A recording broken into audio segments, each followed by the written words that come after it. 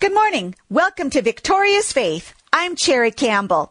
Now we're going to jump right in again to our study that we've been doing last week and this week on pride and humility. And yesterday, before the end of the program, I began sharing with you characteristics of pride, signs of pride, evidences, symptoms of pride. Because we must be able to see it. Learn to recognize it. Because one of the main characteristics about pride is that it blinds you. And so that when you have it, you don't know you have it. When you're in pride, you don't realize or recognize that you are in pride. And so not recognizing it, then you let it go unchecked, and then it is deadly. And so you must learn to see it, recognize it when it's there. Learn its characteristics. Learn its symptoms, its signs, and its evidences. And, as I said yesterday, that when you begin learning the characteristics of pride, then you're going to start seeing it a lot more in other people also. You will recognize pride and its characteristics in other people. But that's where you have to also be careful because you must ignore it and overlook it in everybody else. But you must deal harshly with it in yourself. You must kill it and crucify it in yourself. So don't look for pride in other people. You know, so many times we've heard sermons that give a correction or a teaching about something that we need to change about ourselves. And many times we've all done it. We'll be sitting there and say, Oh, my brother needs to hear this. My husband needs to hear this. My wife needs to hear this. And you're thinking about who else needs to hear that message. Oh, I know so and so. They really need to hear this. Hey, God is not having you hear this so that somebody else can hear it. God led you to turn on this radio program this morning. Why? Because he know, he knows you are the one who needs it. So don't just be listening to these lessons in these programs and be thinking, oh, my wife needs to hear this. My husband needs to hear this. No, you're the one listening because God knows you're the one that needs it. Yes, you. You deal with you. And that's one of the characteristics of pride Pride is always seeing the faults in other people, but not seeing it in yourself. Not recognizing in yourself. So, quit thinking about everybody else who needs to hear this teaching. You're the one listening because you're the one that needs it. And God brought you here. God will deal with those other people as he is able to. As he is able to. And it's not necessarily your job to go try to correct them. No, you correct you. And so let me jump in again. Yesterday, we brought up the very first in the list, and these are not really listed in a priority or anything. These are just characteristics, although this is probably one of the very biggest characteristics right here is pride is deceived. Pride believes lies. Pride is deceived. Pride blinds you. Pride deceives you. And so you don't see yourself clearly or accurately. And we looked at two scriptures. First, we saw Obadiah 3. Now, what do you mean 3? Verse 3. You say, but what chapter? Hey, Obadiah has only one chapter. One chapter, so it's chapter 1, verse 3. The pride of your heart has deceived you. The pride of your heart has deceived you. So you see, in the, in, actually in this perspective, you are self-deceived. You're, you are self-deceived when you allow pride. You have pride, pride deceives you, and you're deceived by your own pride. And then we said also pride has an inaccurate view of yourself and your situations. You see yourself wrongly, inaccurately, incorrectly, and your situations. Romans 12:3 says, "For by the grace given me, I say to every one of you, do not think of yourself more highly than you ought, but rather think of yourself with sober judgment. Sober. Think of yourself with sober judgment. We would say today, brutally honest. You must be brutally honest about yourself, with yourself, and be open to God showing you the truth about yourself. You know, we've talked in the past about the law of faith. We talked about the law of spiritual authority. We've talked about the creative power of words. These are spiritual laws. And that's the broad spectrum of the teaching of this ministry.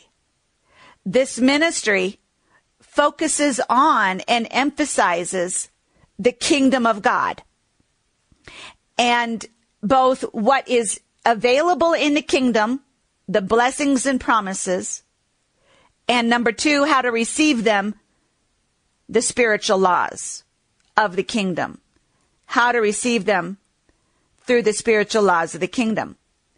And one of the things we have to know and understand and believe at all times is that God does love you. Grace is God has freely given you everything in his kingdom. And if this is new to you, then you need to go back and review the lesson on the kingdom of God I gave seven weeks teaching about the kingdom of God. And somebody said, but how then do you receive? Well, that's the spiritual laws of the kingdom is how you receive everything that's in the kingdom by the spiritual laws. And if you missed that series or any other series that you'd like to hear again or these programs, you can go to my YouTube channel, which is under my name, Cherri Campbell, C-H-E-R-R-I, Campbell, C-A-M-P-B-E-L-L. And there you will see all these radio programs. Well, then my point that I'm getting to is that, you know, we talked about God has said he is pleased to give you the kingdom. And he has said, everything that I have is yours. And he said, whatever you ask for in my name, I'll do it. You know, the, there are these many, many all encompassing promises. And yet so many Christians are not receiving them. And yet their first response is usually why God didn't you? And notice the finger always gets pointed at God. Why, God, didn't you do this? Why didn't you give me this? Why didn't you heal my mom? Why didn't you? Why didn't you? Why didn't you? And that is the blindness. That is the self deception. That is the inaccurate view. The inaccurate view. Anytime you start pointing a finger at God and saying, God, why didn't you? Or why did you let this bad thing happen? If you're pointing the finger at God, you are totally deceived. you have an inaccurate view. And what is the root of the inaccurate view? What is the cause? Pride. As I'm gonna, let me go ahead and jump into it. Pride always passes the blame. Pride blame shifts. Pride blame shifts. Pride blames something else or someone else for what's bad, what's wrong. And if you are always passing the blame, and this, you see, we said you have to think of yourself with sober judgment, be brutally honest, because pride has an inaccurate view. Pride wants to blame everything else, everybody else, including God. It's God's fault. It's my husband's fault. It's my wife's fault. It's my company's fault. It's everybody else's fault. That's pride. Pride blame shifts. Pride blames shifts. Pride blames other people, other things. And we see that blaming, it began even in the Garden of Eden with the first sin of Adam and Eve. The first sin, we already looked at the very first sin of the human race, mankind, was because of pride. They were acting independently of God. They were believing the lies of the Satan, of Satan. They were denying what God said and they were succumbing to the lust of the flesh, the pride of life. And they were rising up against God and what God had said to them. It was, the first sin was caused by pride. And then what was their first response after they sinned? Well, we see they covered themselves with fig leaves, self-dependence. Instead of going to God and falling before God and saying, God help, they started with their self-dependence and independence. Well, then what was the next thing that happened after they sinned? God confronted them with their sin and said, did you eat? God asked Adam, did you eat the fruit that I told you not to eat. What was Adam's answer? Did he say, yes, I did it? No, he did not. He blamed. When God confronted Adam and said, did you eat the fruit that I told you not to eat? Let's look at Genesis chapter 3. Now this is after they have, they have clothed themselves. They're acting independent and self-dependent. Now God confronts them and says, did you eat the fruit? And in Genesis 3:12, the man said, the woman you put here with me, she gave me some fruit from the tree and I ate it. You know, that's one of the problems in marriages when there's a problem. When there's a problem, the pride is usually the problem. And it's usually blame shifting the other person, blaming the other person. The husband blames the wife and the wife blames the husband. Humility takes the blame. Humility acknowledges your own faults and weaknesses. Pride denies your fault and passes the blame to somebody else. So the man said to the woman in verse 12, the woman you put here with me, she gave me some fruit from the tree and I ate it.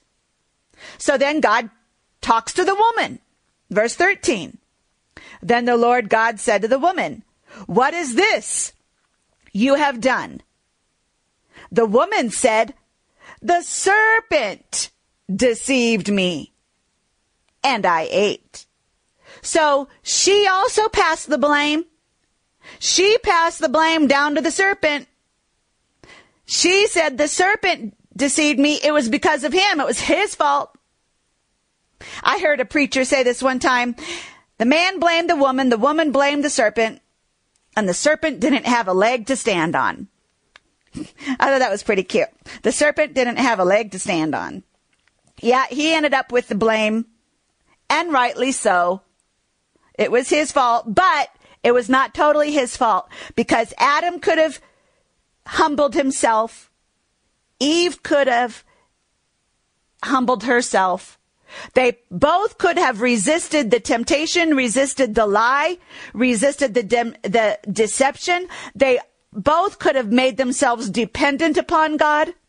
And when God confronted them, they could have said, yes, I did it. I'm at fault. I'm wrong. They neither one accepted their own fault, but they passed the blame. They passed the blame. And so we see here that pride passed the blame and pride will even go so far as blaming God. Notice here that the man said, the woman you gave me. The woman you gave me. So he blamed the woman, but he was also blaming God. You gave her to me. It's your fault. If you had never given me this woman, I would not have eaten. It's your fault, God, that I did that. You gave me that woman. And he passed the blame even to God. And you know, there's a lot of Christians today.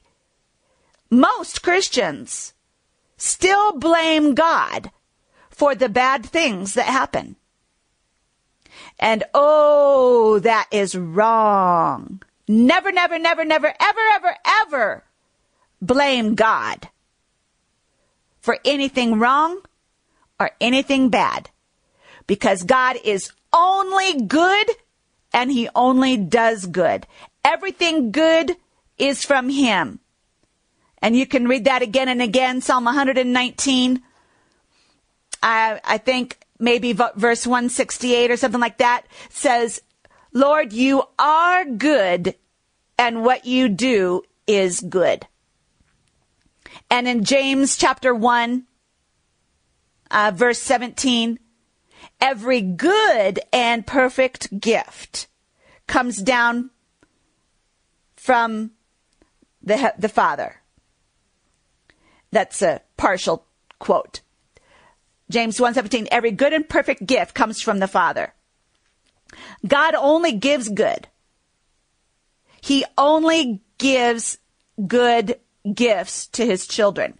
Nothing bad comes from God. Where does the bad come from? The bad comes from the curse of sin and death. The law of sin and death.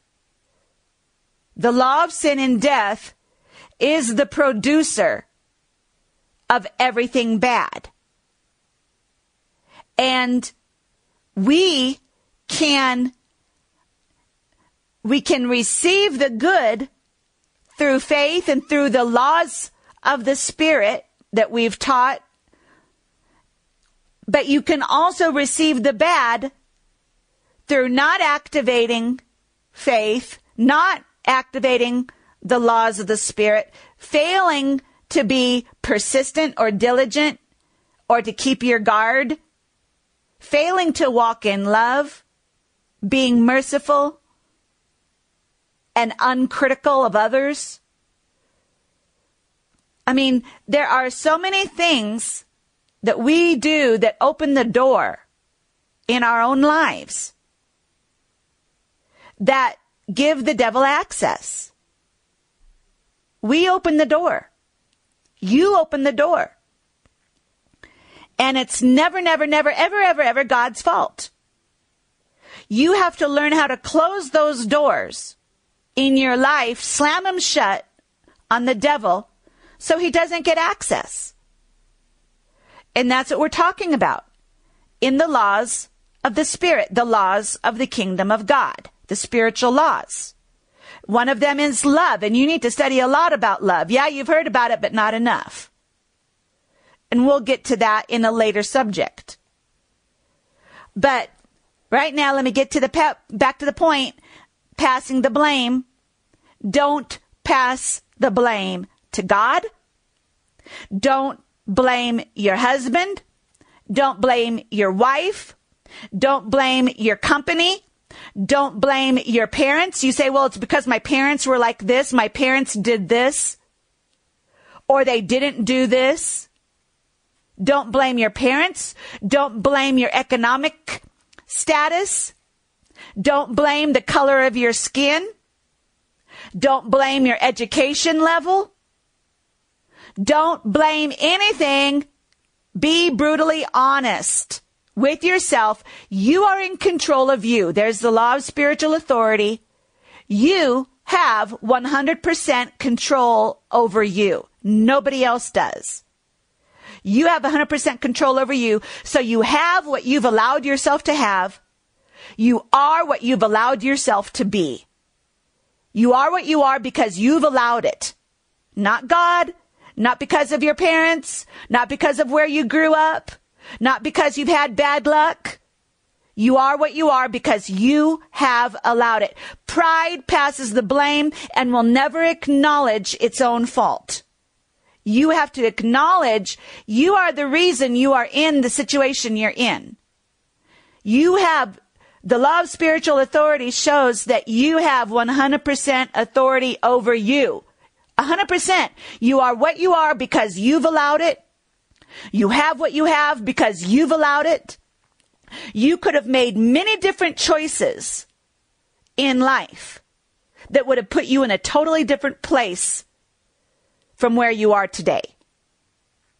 You could have made hundreds, if not thousands, of different choices in your lifetime that would have put you in a different place from where you are today. Now that could have been good or bad. If you're in a good place, you have made good choices.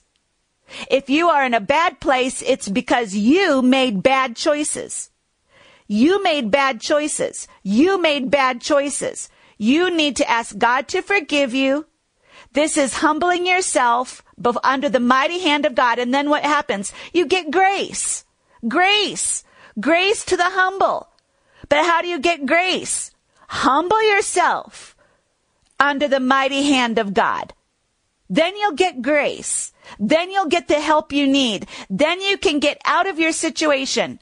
So you simply have to acknowledge your own fault and not blame anybody else.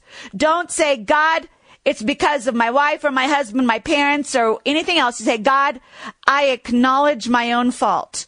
I acknowledge I have made bad choices. I have, I acknowledge that I have not thought right.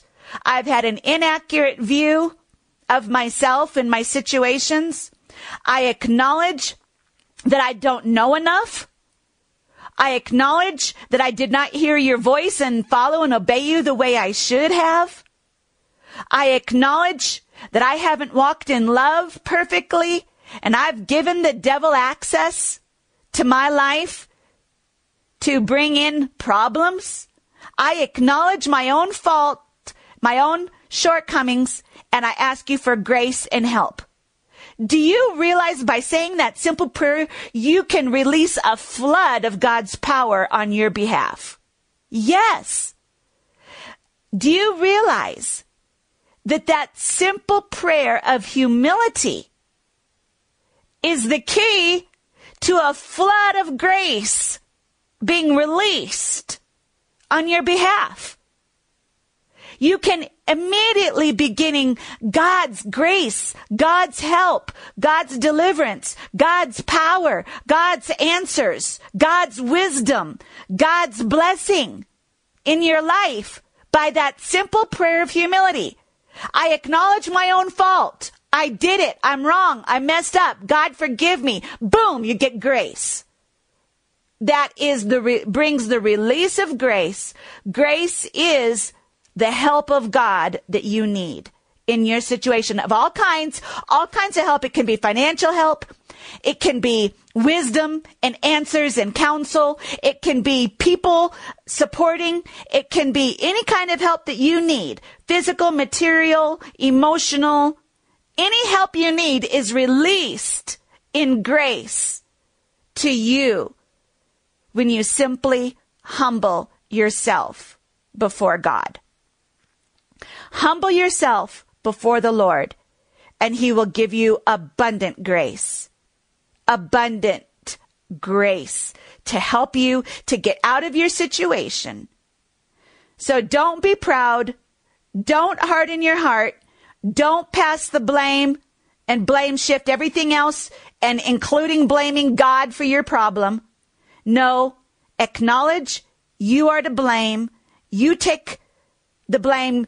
You acknowledge your fault and then you get grace to help in your time of need and it will get you out of your situation. God will begin moving in your life, in your behalf to help you. He'll begin giving you answers and wisdom and direction and counsel. He'll begin giving you the financial assistance you need. He'll begin bringing people into your life to help you get out of the situation you're in. Grace will be released to you when you humble yourself under the mighty hand of God. Well, that's the big lesson for today. God wouldn't let me get on to the next point. That's it. Take it, receive it, receive God's grace to you today and give him all glory for the good things in your life. And join me again tomorrow. And remember, God loves you. You're blessed and highly favored by the Lord.